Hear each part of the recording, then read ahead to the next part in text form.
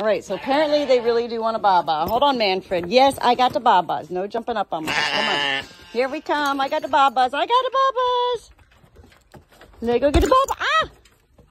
Don't jump up on me like that. That's silly. Come on. I got the babas. Hold on. Oh my goodness. They're just so excited for the babas, huh? Who wants a baba? Who wants a baba? Johnny, you want a baba? Johnny? Here we go, babies. Come on. They know where to go. Okay, I gotta run errands, and so this is the easiest thing for me to get them up is to give them a little baba. Here we go, babies.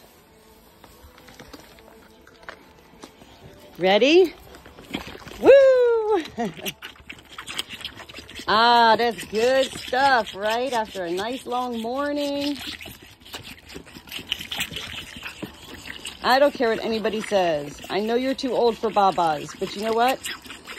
That's what everybody told me with my daughters. They were too old for the boob. I still nursed them till they were two and a half years old. So, as long as y'all want a little baba, I have no problem giving you little babas because I think it's the most precious thing to see how much you love it. It's not hurting you at this point. And it's just little babas, right?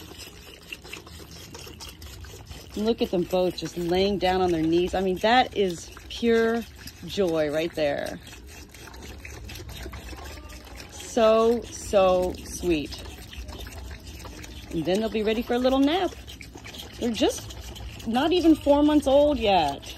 But I know they're supposed to stop weaning at three months. Hey, you know, such is life. Judge me if you must. My lambs don't judge me. they thank me. There we go, babies. Good boys. All done. All done. Ooh, that was good stuff. All right. You ready for a little nap now? So mommy can go out to the store?